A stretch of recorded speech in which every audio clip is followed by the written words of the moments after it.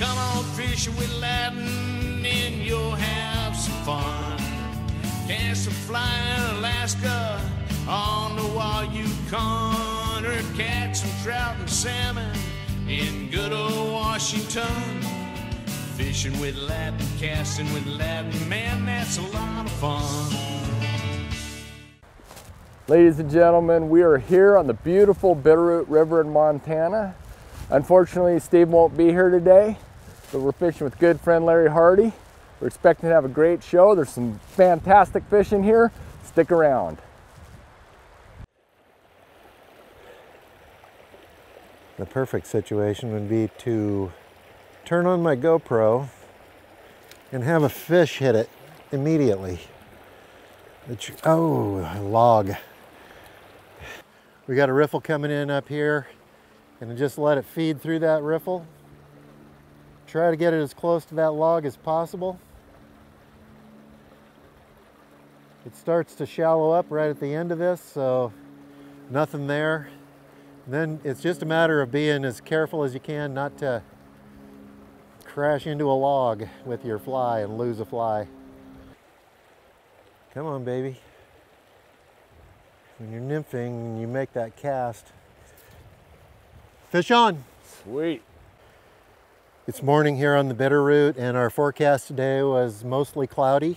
So we get patches of sun, but uh, the clouds are probably helping us out and uh, got a nice hit right off the bat. All right. So we, ooh, he's trying to get back to the logs. In this particular spot, there's a big log that runs right along the edge and I knew there might be fish holding underneath of it. So I was trying to get my flies as close as I could with the nymph rig. That's a little tough.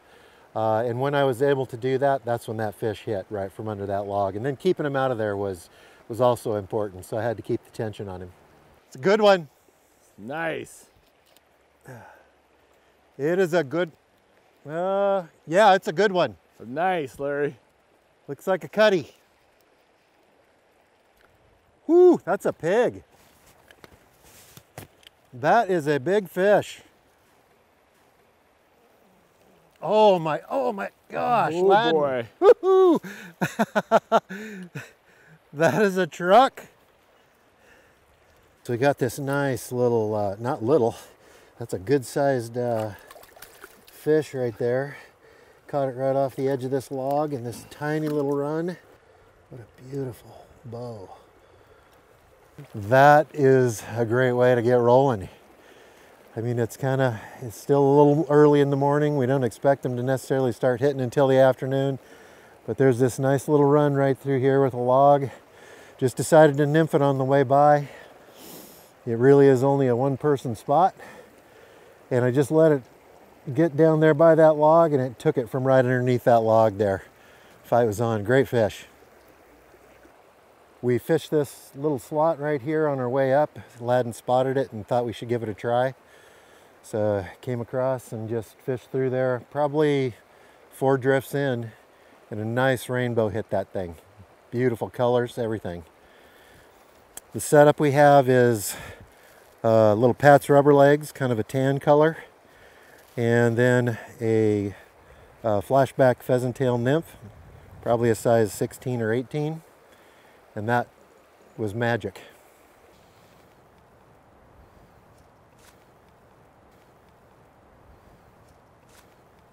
Fish on. Oh, Oh, wow. That worked out too well. Too well. Unbelievable. This is a sweet fish. I hope we can get him in the net here. He's nice and cooperating right now, coming over to the, jeez, that is a big fish. My goodness. What's happening? yeah.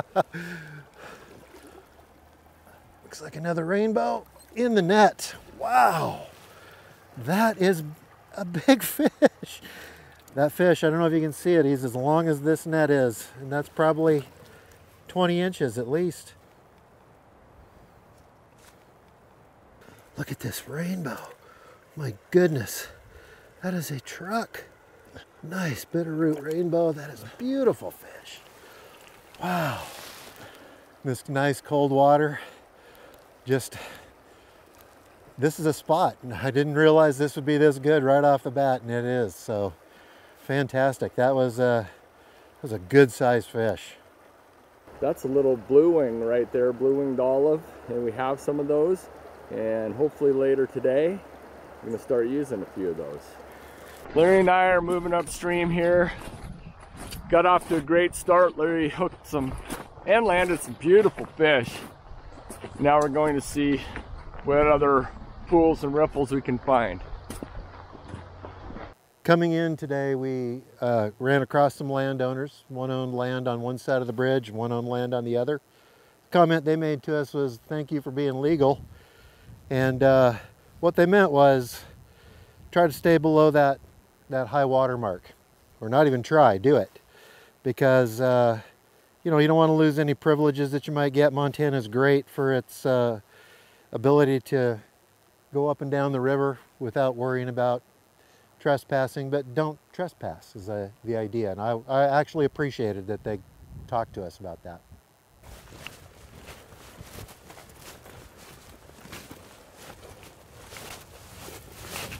Watch out for that barbed wire. Yep. This isn't gonna be good, Larry. What's that? Lost everything. You did. Yeah. Well, you're just in time.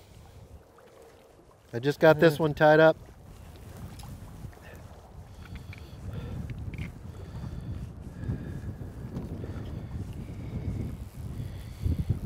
I think I might throw a couple dries through there and call it good right there. Okay. I would go straight out. Yeah, That's where I saw the rise. Right Right- straight right out by- at that first tree. The tree that's in the water or the one no, that's the one that's, that's on the bank. the one that's the The- big one that's broken? See this? See the broken one? Yeah. The one to the right of it. Okay. Oh perfect. I'll Those try three. that. Boy, I see a bunch of blue wings potted up right there though. Yeah. Yeah, I mean about 20 of them. So I could see why it rose right there. Eh. Oh, yeah. Good spot, Larry. Larry spotted a fish rising over here. And I made a few casts in there and uh, fish porpoised on it.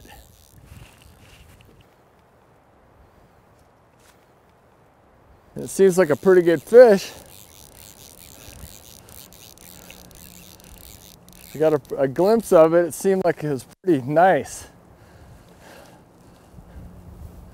Nice one, Ladin. A good spot with that rise. Just kind of stalemating right here. Ah, oh, it's a nice one.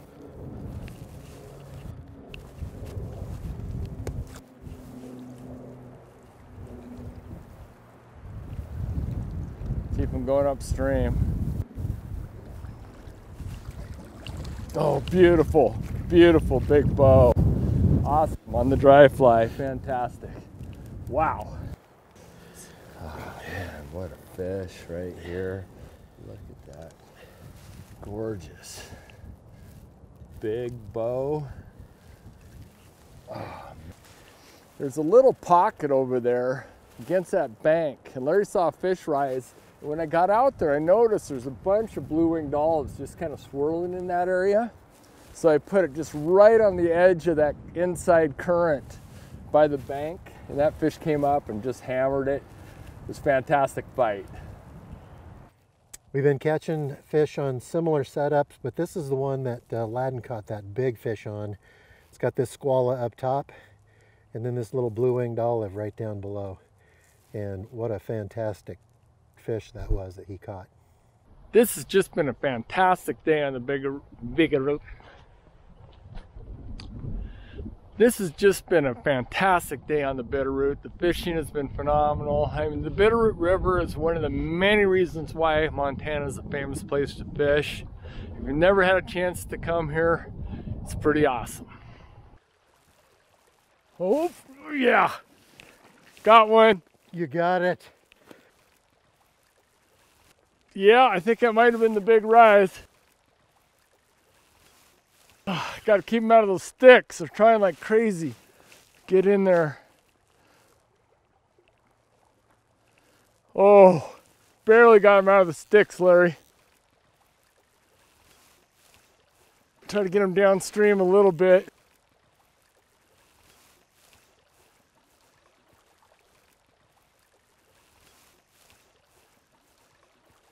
Kept them out of the sticks. That's good. Might be a brown. I think I've been bamboozled a little bit. Ladin and I are headed out, and he goes, Well, we got that gear down there. I, am just going to go try this little hole real quick right here. And I go, Yeah, I'll, I'll get the gear. Next thing I know, Ladin's hauling in a big brown trout over there. It's a brown trout.